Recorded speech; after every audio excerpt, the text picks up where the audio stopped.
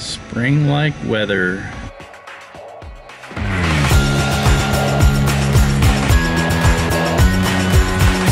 It's uh, beautiful weather for January. It's very spring like, so. But the other shoe is going to drop this weekend, of course, figures. And uh, we may get an ice storm, so stay tuned. As you can tell by the way I'm dressed, it got cold again. It was in the mid 60s earlier today, and now it's down like 26 degrees. That's wow.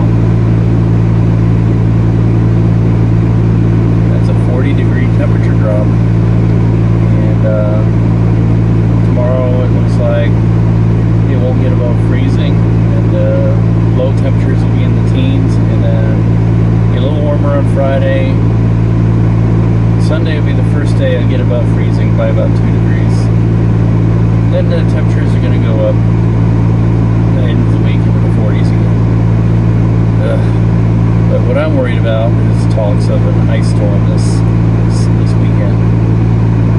That makes things miserable, and I don't know grocery store was moderately busy tonight. So, anyway, we'll see